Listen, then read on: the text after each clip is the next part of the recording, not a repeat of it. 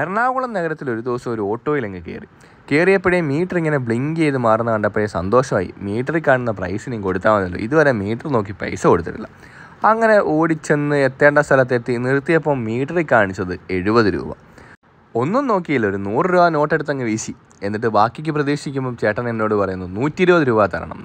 അതെന്താ ചേട്ടാ metre price അല്ലേ തരേണ്ടത്? എന്നൊന്നും ചോദിക്കാൻ അവിടെ ഒരു സമയം കിട്ടിയില്ല. നിങ്ങൾക്കും ഇങ്ങനത്തെ അനുഭവങ്ങൾ അങ്ങനെ എന്തെങ്കിലും ഉണ്ടെങ്കിൽ പങ്കുവെക്കാനുള്ള ഇടമായി കമന്റ് ബോക്സിനെ കണ്ടോളൂ.